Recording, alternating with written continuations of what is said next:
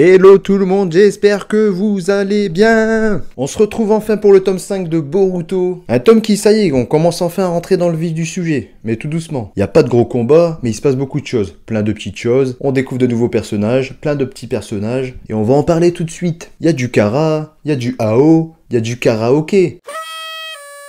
Bon, qu'est-ce qui se passe dans ce tome 5 Ah, j'ai bien aimé ce tome 5. C'est vrai, il se passe pas euh, des tonnes de choses, mais j'ai bien aimé, parce que c'est pas l'arc des Mujina. Ça y est, on a enfin fini cet arc. Bon, on se retrouve directement là où le tome 4 nous avait laissé, c'est-à-dire dans la réunion entre les membres internes de Kara. Parce qu'il y a des internes et des externes. Et du coup, on fait la connaissance avec des nouveaux personnages. Il y a Jigen, le chef. Il y a Kashin Koji. Euh, normalement, il y en a pas mal qui l'aiment bien celui-là. Il y a elle et il y a lui. Pour l'instant, on n'a pas encore leur nom. À ce moment précis. Ah si, il y a aussi lui, le vieux, qui se fait pas respecter du tout. Et il se fait même carboniser par Kashin Koji à la fin de la réunion. En même temps, c'est lui qui a perdu le réceptacle. Et on perd pas le réceptacle. C'était la règle numéro 1. Du coup, carton Par contre, pour ceux qui ont lu que le manga et qui ont pas vu l'animé, eh ben ce vieux là, il est beaucoup plus développé. Hein. On le voit beaucoup plus. Donc, euh, petit conseil, regardez les deux. Voilà. Pendant ce temps-là, Naruto affronte Boruto pour tester un nouvel outil ninja. Un outil ninja qui permet d'aspirer le ninjutsu, comme Momoshiki. D'ailleurs, Boruto, il maîtrise déjà le Suiton, Suiton, le Katon, Katon, et le Fuiton. Fuiton. C'est déjà pas mal euh, pour son âge, parce que Naruto, à son âge, c'était pas la même chose. Hein. Peut-être s'il faisait, il, il faisait le euh, sexy no jutsu. Ah, j'abuse, j'abuse, j'abuse, j'abuse. Mais en fait, Boruto, il a pas besoin de tricher pendant l'examen Chunin. Il sait déjà tout faire. Et puis aussi, il écoute que Sasuke. Il écoute pas Naruto. Boruto, tu sais que t'es nul. N'importe quoi Et je suis même plus fort que toi d'abord Boruto, tu sais que t'es nul. C'est bon, je sais, pas besoin de me le dire. Ah, il me connaît trop bien, Sasuke. Ça se voit que c'est mon maître. Bref, Konohamaru, lui, de son côté, enquête sur le vaisseau qui s'est écrasé. Il enquête avec son collègue ou son associé, Mugino ou Mugino. Et il retrouve une boîte entr'ouverte à l'intérieur de ce vaisseau, mais ce qu'il y avait dedans a disparu. Pour les anciens, ça vous fait pas penser à des BZ On dirait pas le Dr Gero et ses boîtes euh, avec ses 16, ses 17, ses 18 Ça se peut, c'est ses 14 euh, Non, il existe déjà. C'est 12 qui s'est enfui. Bon, je- en fait, vous savez tous qui s'est enfui. C'est le fameux réceptacle. Le suspense est à son comble. Bon, l'équipe 7 se voit assigner une nouvelle mission, une mission de trafic d'organes. Ouais.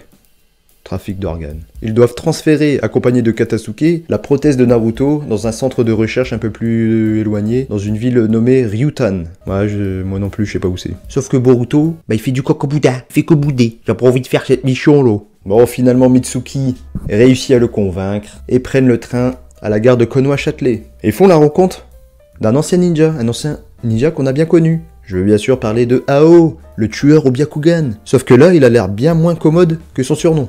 Déjà, faut le faire. Tueur au Byakugan. Kashin Koji. Il était pas loin non plus. Et attend que l'équipe 7 se barre, avec Katasuke aussi, pour taper la discute avec Ao. En fait, Ao, ce n'est plus du tout un shinobi, mais c'est quand même devenu un sous-traitant de Kara. C'est devenu ce qu'on appelle un externe. Et vous vous souvenez quand Katasuke était sous l'emprise d'Agenjutsu et qui a essayé de motiver Naruto à utiliser des outils ninja? Pendant le- l'examen Et ben en fait, il était sous l'emprise de Ao. L'équipe 7 et Katasuke arrivent enfin au centre de recherche et on retrouve notre Surimi préféré, dans notre Sumire préféré. Je dis bien on retrouve parce que dans l'animé, elle est super bien développée, elle est tellement bien développée qu'elle a un petit arc à elle, et je pense qu'on l'aime tous avec sa nuée. Sauf qu'ici, on la découvre que à l'instant, dans le tome 5, à ce centre de recherche. Et on découvre aussi également un membre du clan Inuzuka, Akita Inuzuka, une assistante du professeur Katasuke. Bon, finalement, au lieu de repartir tout de suite, nos ninjas, ils font des tests avec plein d'outils ninja, ils servent de cobayes. Boruto, qui est devenu un extrémiste contre les outils scientifiques ninja,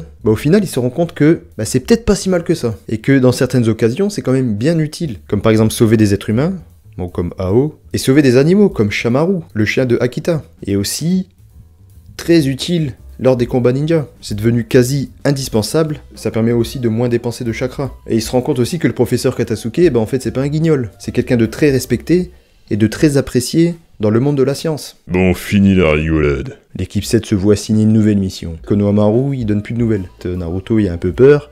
Donc il dit Allez, euh, l'équipe 7, vous êtes les plus proches, allez voir ce qui se passe. Surimi, euh, Sumire, avoue à Sarada qu'elle est amoureuse de Boruto.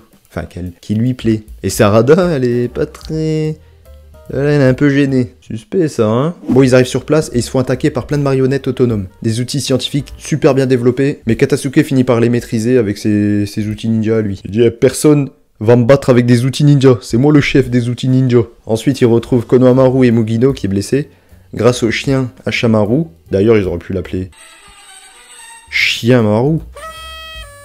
Et pas Shamaru. Enfin bref, ils retrouvent Konohamaru et se font menacer par Ao avec sa Gatling. C'est cru dans le Far West lui ou quoi? Et voilà, la suite ça sera dans le tome 6, que j'ai toujours pas acheté d'ailleurs. Va falloir que je l'achète hein. Et il faut bosser un peu. D'ailleurs, il y, a- il y a quelque chose qui me... Sur le combat qui va venir là. Les membres de Konoha, ils savent pas du tout à qui appartient ce vaisseau. Ils savent encore moins ce qu'il y avait dans cette boîte qui était entrouverte. Ils savent pas du tout. Et Ao, il vient avec sa Gatling et il dit Dites-moi où est cette chose qu'il y avait à l'intérieur, sinon je vous bute. Et Konohamaru il dit Non, je te dirai jamais ce qu'il y avait dedans. Parce qu'on est en mission. Mais en fait, là, il y a, gros embrouille pour rien en fait.